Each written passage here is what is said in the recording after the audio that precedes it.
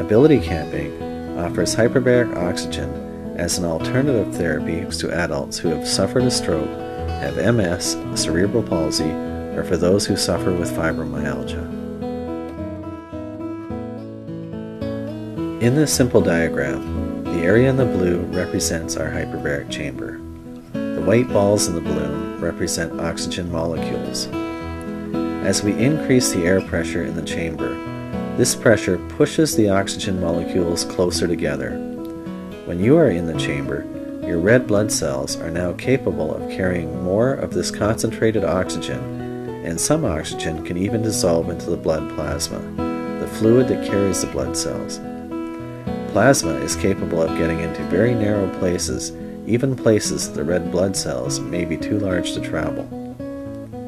The real question behind hyperbarics as an alternative therapy is what does the central nervous system do with these elevated levels of oxygen? Some doctors in the hyperbaric field perform SPECT scans before and after a series of hyperbaric sessions.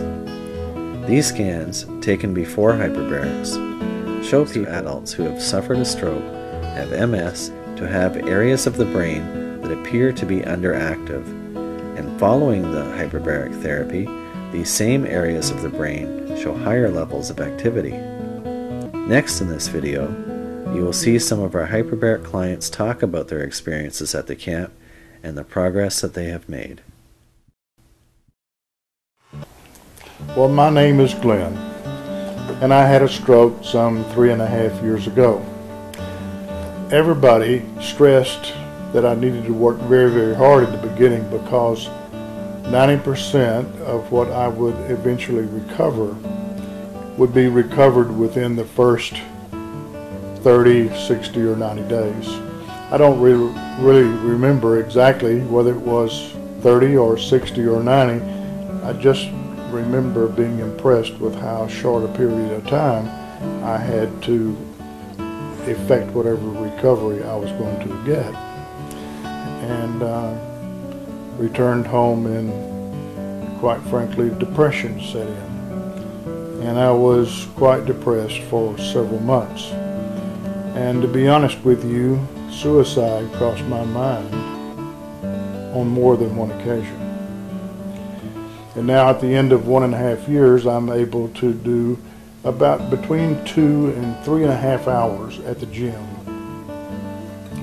It was at the gym one Saturday morning when somebody mentioned to me, he asked if I had had a stroke, and I told him that I had.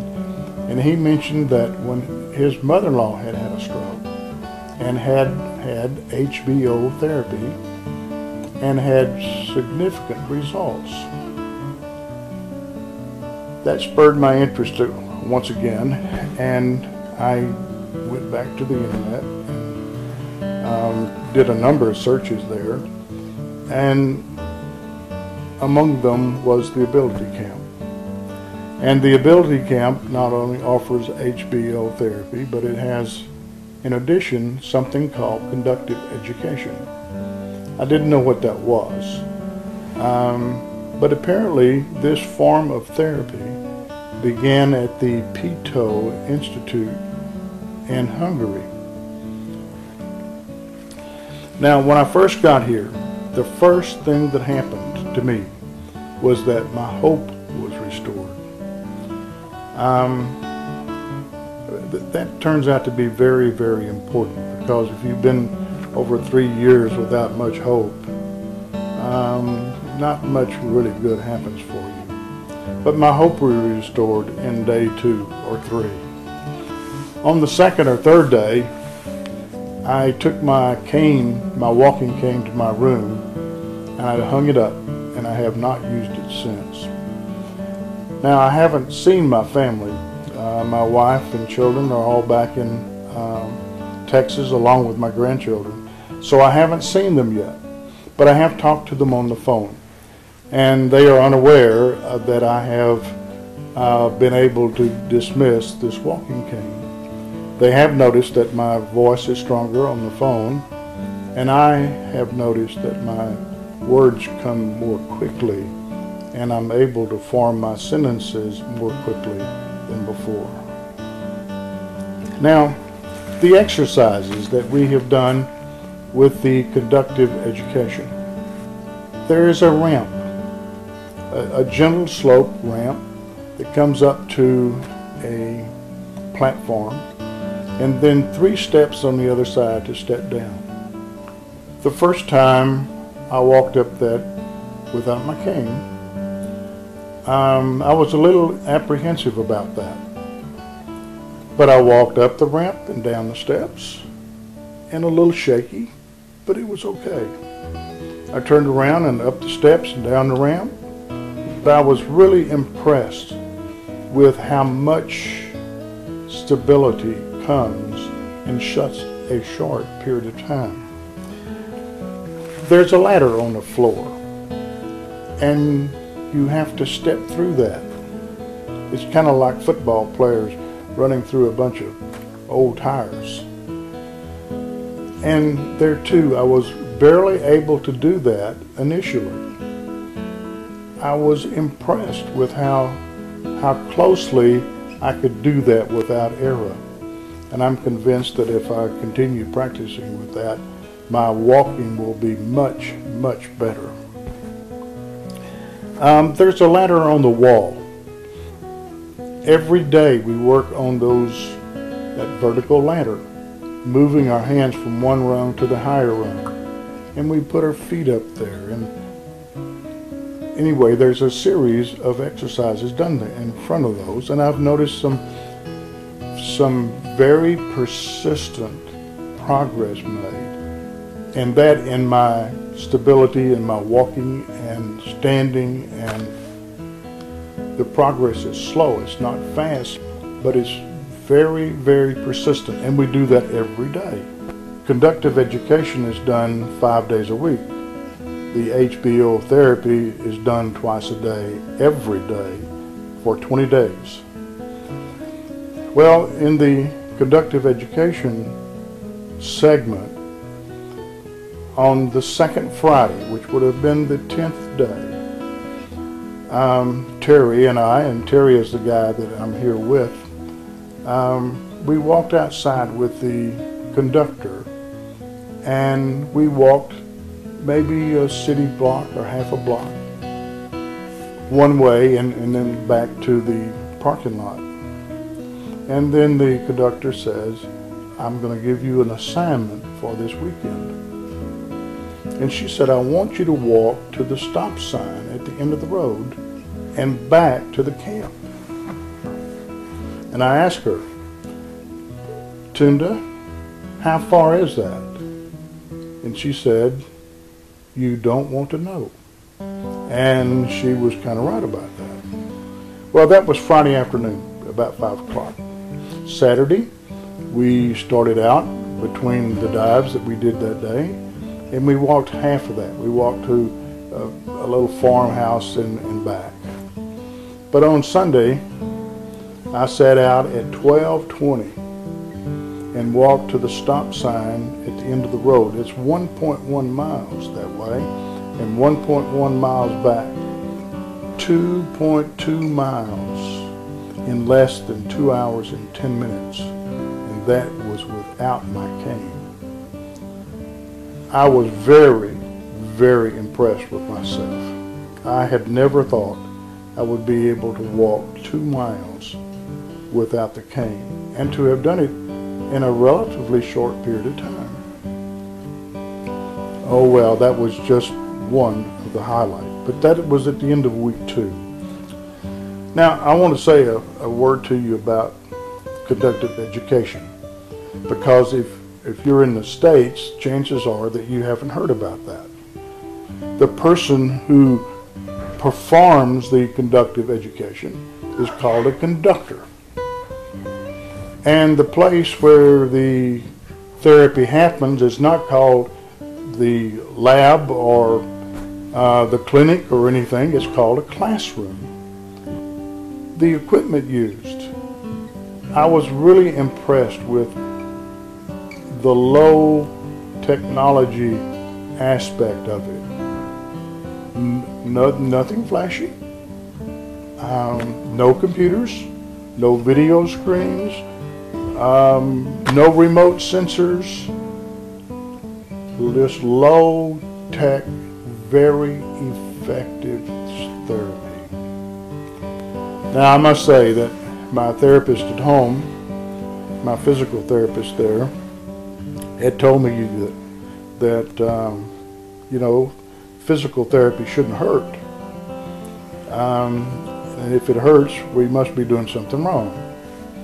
Well, I'm going to tell you, um, this conductive education is somewhat unpleasant. um, there is pain involved, but it's a good hurt. Um, you just know that, that the woman wouldn't ask you to do that unless it was for your own good.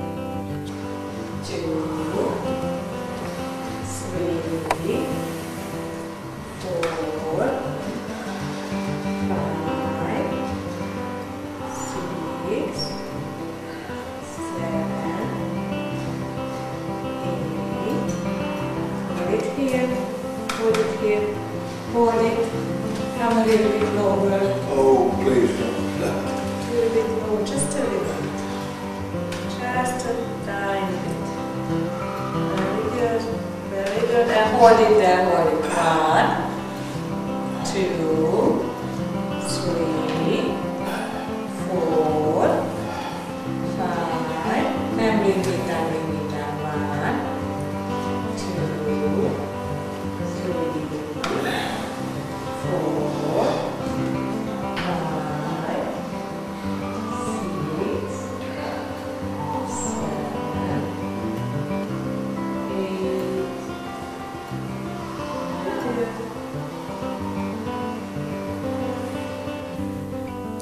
Should you decide to come to this place, the Ability Camp, uh, something else is going to happen for you. This place doesn't cater to stroke victims only. What is commonly done here is that they help cerebral palsy children. You're in for a real treat because when you meet those kids and their parents, and their grandparents, I might add. Um, you'll be touched, I think, as I was, um, by their commitment. And you will begin to pray for somebody other than yourself.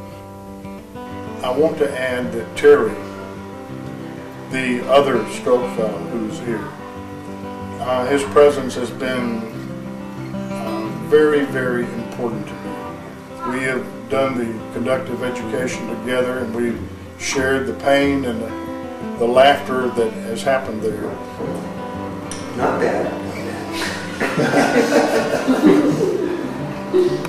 How is the bouquet? Is it a good year? Who the hell cares about the bouquet when you've lost 37 pounds of sweat?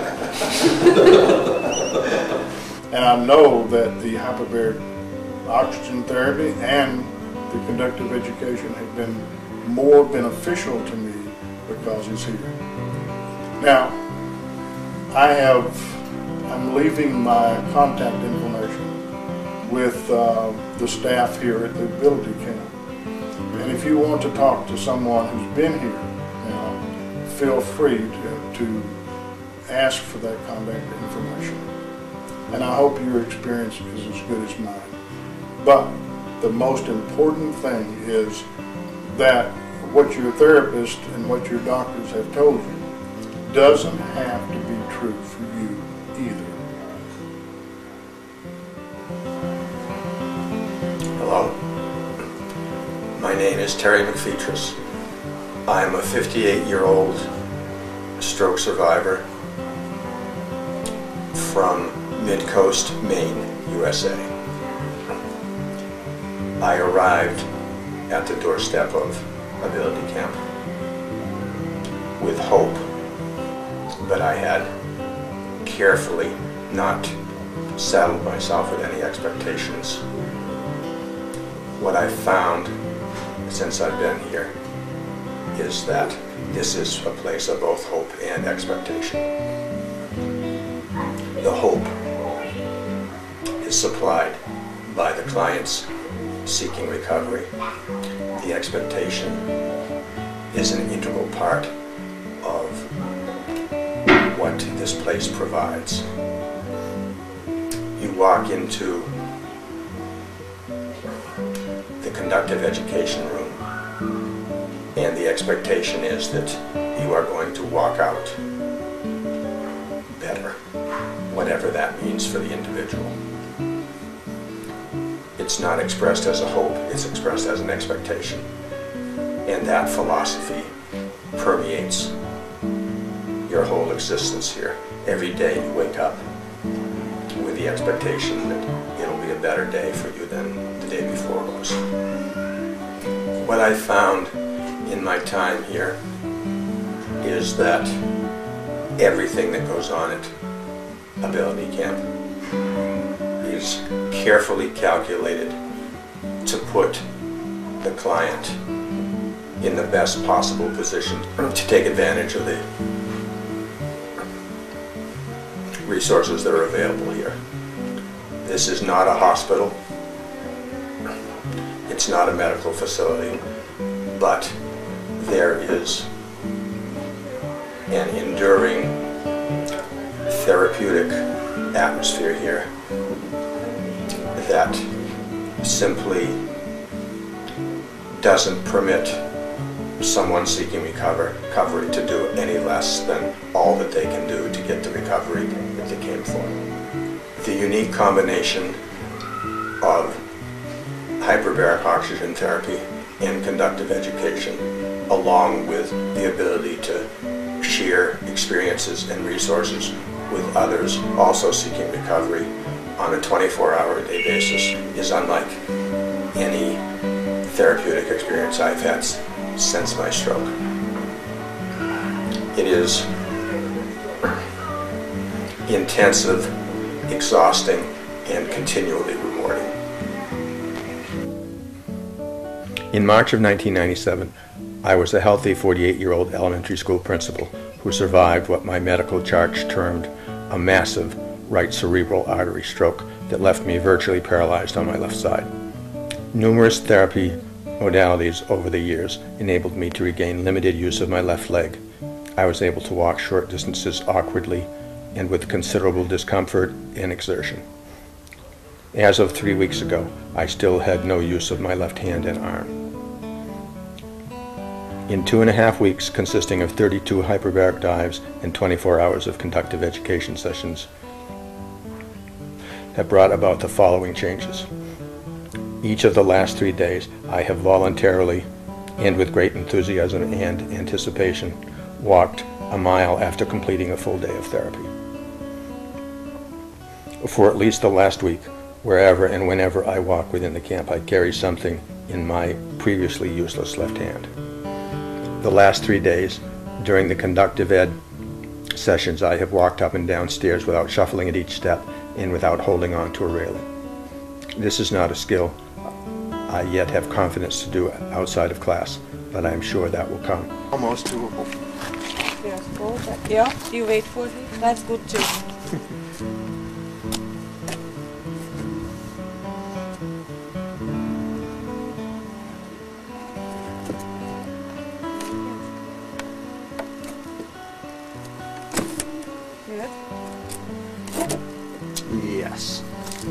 Nice work, Glenn. Very good. Okay.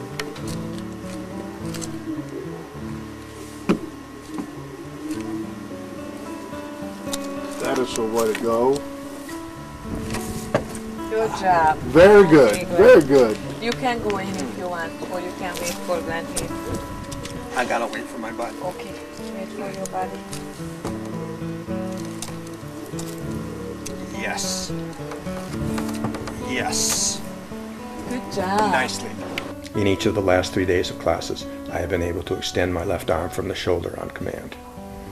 These and other small improvements in my physical skills add up to the belief and expectation that practicing what I have learned in class here at camp will continue to produce gains when I return home.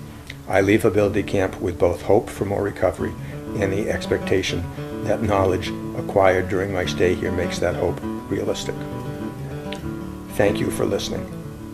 I would be more than happy to discuss my experiences here with you in detail if you wish. Speak with an Ability Camp staff member for my contact information. Hello, my name is Linda Hall Perry. I'm from West Virginia. I had a stroke about two years ago. It's such a helpless feeling. I mean, and it's just like a weight bearing down on you, and you just feel like crying all the time, and because your life is just so different from what you're used to, especially if you're used to doing everything before, and then all of a sudden now you can't. Tunda is the conductive education therapist, and she is awesome. I mean, she is awesome because she will push you and make sure that you get it. She won't give up on you because I was so scared to death. I, I remember saying to her, please don't give up on me because I was scared of everything and I thought she would get frustrated with me. But no, she didn't. She's got lots of patience and she just, she lets you know you can do it. And she says she understands that you're scared and she will work with you. But the other day I had such a good day. I mean, I was able to do everything the conductor asked me to do. I mean, it wasn't easy, but with her coaching and um, she let she let me know that I could do it, and um, I did it, and it felt so good. It was like a weight was lifted off of me. I felt so I felt best, better than I felt in two years that I've had the stroke. I felt like I could do anything, and you know what? I believe I can. I can walk on the grass. I can go up and down steps. I could not go down steps.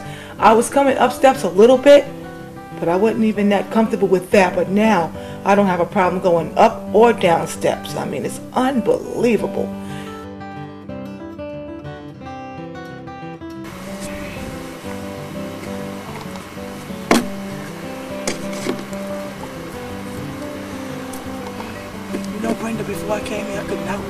Steps. I was petrified. I'm not scared, scared of steps anymore.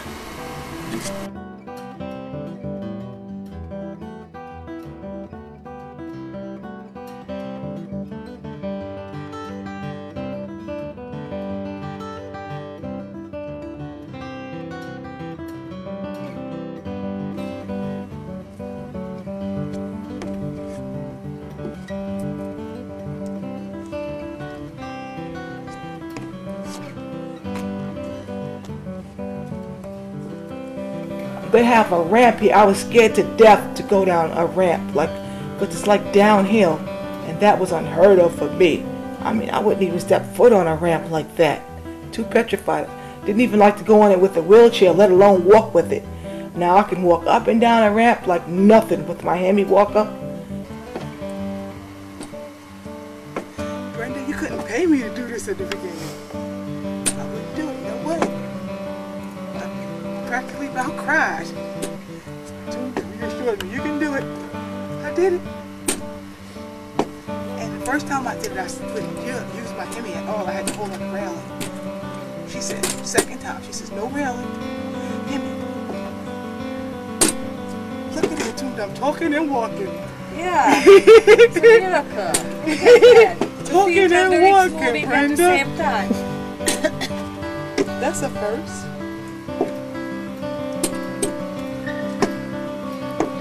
Like it, I like it. Oh my gosh, that's wonderful. I like it. yeah. And the grass. Woo, walking on the grass. Flower. I haven't did this in two years. I'm actually walking on the grass, the grass.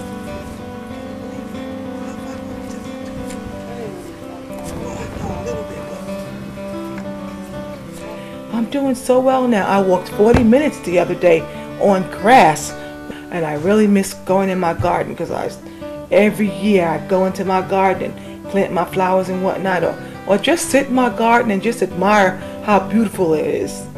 Now, when I, I can't wait to get back home because when I get home, I will be in my garden because now I have the ability to walk into my garden, have a seat, and admire just like I used to.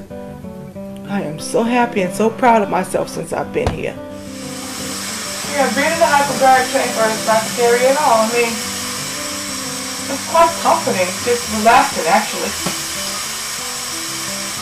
Combination of the ther- of the hyperbaric therapy and the conductive education therapy together, whoa, it's awesome. When I came here, I came with a wheelchair. I wouldn't leave that wheelchair. Wherever I went, that wheelchair went with me. With me. But now, I'm walking with the Hemi all through this camp. My leg, guess what? I crossed my leg the other day and was able to take my shoe off at the same time. That was a first. Now this is my paralyzed side, my left side. Now I can pick up my leg and cross it. Look, it's there. Can't tell me nothing. Yesterday I talked to my husband on the phone. I said, you know what, babe? I said, you getting your wife back. he started laughing. I said, I'm coming back. You get your wife back. He likes when I talk confidence like that because usually I'm just so depressed all the time about all the things I can't do. But I'm trying to be able to do so much stuff now. I'm telling you, I'm just excited. If you would like further information about Ability Camp, you can visit our website at www.abilitycamp.com or give us a call on our toll free number at 1 800 442 6992.